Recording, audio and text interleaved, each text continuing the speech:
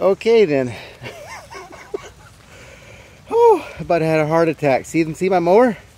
And see this fine fellow here? I almost stepped on him.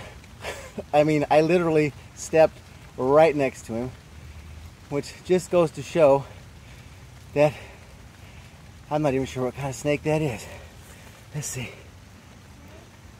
Yeah.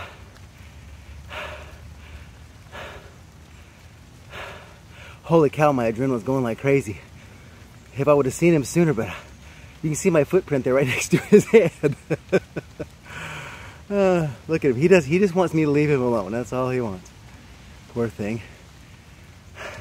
I don't think that's venomous though. See his head?